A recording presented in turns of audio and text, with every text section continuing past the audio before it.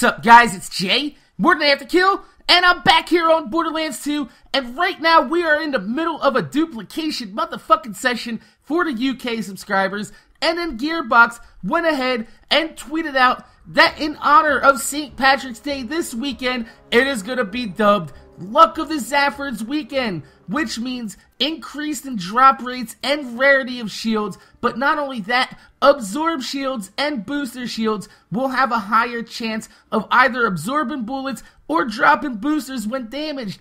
God damn, and if that wasn't enough, they also gave us some shift codes, and these shift codes give you special green costumes for your characters. Not only that, but also a Chulainn unique SMG, which is not only a shock SMG, but also a slag SMG. So go ahead, make sure you guys get these shift codes, get your costumes, and also your Chulainn SMG. But remember, whatever character you go into the game first will be what level this SMG will be at. So if you want it low level, go in there and pop it in with a low level character and pass it down to other characters or pick it up at level 50. But since you can farm this at level 50, I would highly recommend to get this as a lower level weapon. That way you can always have it because you're not going to be able to get this at level 10 or 12. So my name is Jay, MorninAfterKill. Make sure you guys read, comment, subscribe. I want to thank you guys for watching. If you could throw a thumbs up on the video, I would highly appreciate it. So go get your motherfucking skins